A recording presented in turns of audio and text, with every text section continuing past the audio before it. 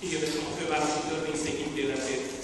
A 2009. év január 8. napjától őrizetben, majd a 2009. év január 9. napjától előzetes letartóztatásban lévő Kun Tamás elsőrendű vádlott bűnös, emberölés büntettében. Ez a BTK 166. szakasz első bekezdésében meghatározott, és a második bekezdés A, C és F pontjai szerint minősülő cselekmény, továbbá lőfegyverrel és lőszerrel visszaélés büntettében, BTK 263 per magyar szakasz első bekezdés kis pontjával meghatározott cselekmény. Ezért dönt a bíróság halmazati büntetésű, életfogytigtartó fegyházbüntetésre és 10 év közügyek elvításra ítéli. Kun Tamás elsőrendű vádlott legkorábban 40 év elteltével bocsátható feltételes szabadságra. A bíróság a vádlott által előzetes fogadtatásban töltött időt a kiszabott szabadságvesztésbe beszámítja.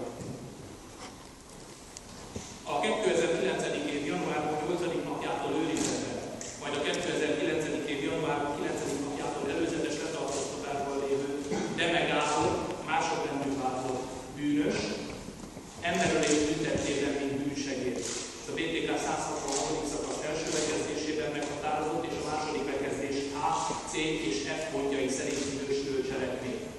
Kettő rendbeli síkasztás büntettében, mint társtettes, BTK 317. szakasz első bekezdés, a második bekezdés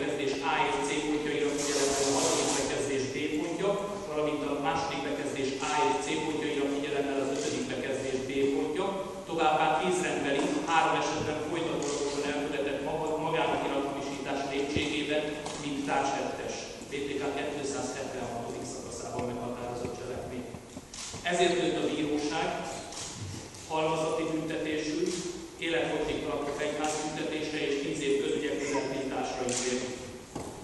De másodrendű